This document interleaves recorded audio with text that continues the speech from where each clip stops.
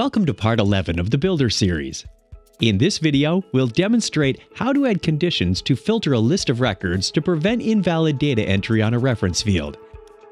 If you haven't already seen the previous videos in this series, it's a good idea to watch them to get the most out of this one, which continues with the safety app we built earlier. Luke Wilson, our safety department manager, has noticed that our user list includes both current and past employees.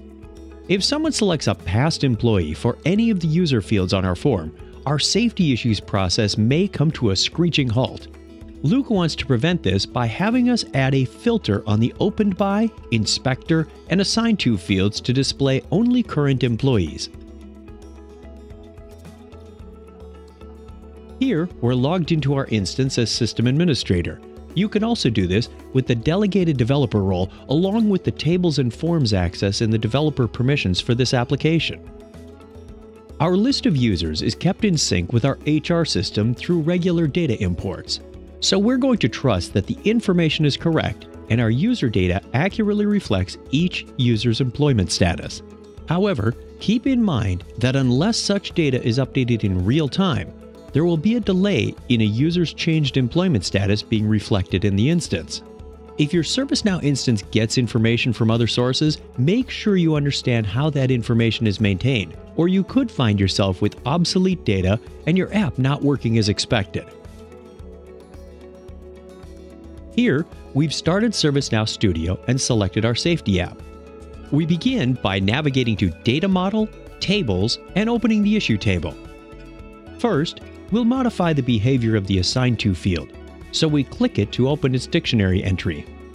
A little lower on the form is the Reference Specification section, where we can see that this field references the user table, and currently there is no reference qualifier condition defined. The reference qualifier is a filter that restricts the data that's returned for a reference field. Without a reference qualifier, all values for the field that are being referenced appear in the reference lookup. That's why, in our example, a new issue could be assigned to a past employee. We're going to change that by setting this to active is true and updating it. When employee records are imported from our HR system, the active field is set to false for any employee who left the company since the previous import. So setting the filter up this way ensures that we're only able to assign issues to current employees.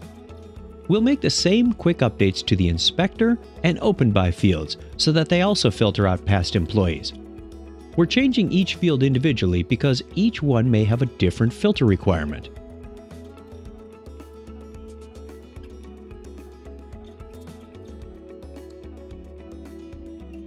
Now it's time to check our work. Here's a new issue, and when we try to set the opened by user to Amelia Caputo, there's no returned result. Clicking the reference lookup icon displays a list of records on the reference table, but this also prevents us from selecting past employees. Problem solved. For more information, see our product documentation, knowledge base, or podcast, or ask a question in the ServiceNow community.